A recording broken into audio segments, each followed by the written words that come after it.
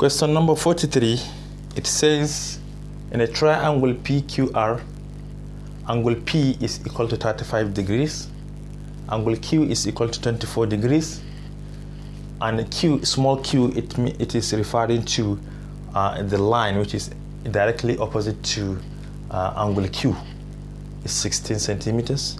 We're asked to find the small p, which is the, the line opposite to angle P. So let us just make a sketch of this uh, information. We have a triangle like this.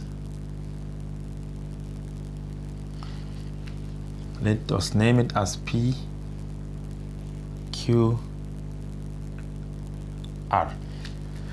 This is small q, this is small r, while this one is small p.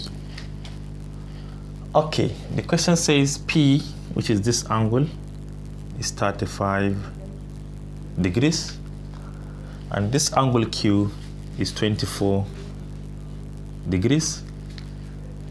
We learned that small q, which is this side, is 16 centimeters, so this is 16 centimeters. We're asked to find this side. So to find this side, we can apply sine rule. It says that um, sine this p over the small p is equal to, because these two are given, we are not going to consider r because the angles and the side are not given. So we can refer to this sine q over small q so now let us substitute. Our P is 35, so we take sine 35 over P, which we are looking for. This is equal to sine Q, which is sine 24 over Q, and Q is 16. Now we can cross multiply. This time this, we have 16 sine 35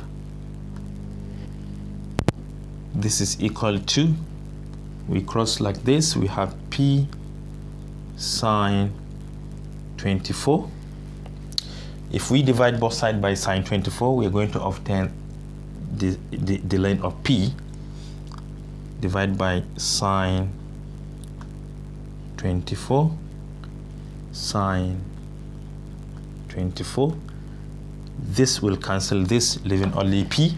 So now we can use our calculator directly since we are dealing with objectives. We say 16 multiplied by sine 35 this is equal to then we press divide by sine 24 and our answer is 22 0.56 P is equal to 22.56 centimeters. So from the option we have option B as the right answer. So now let us move on to question number 44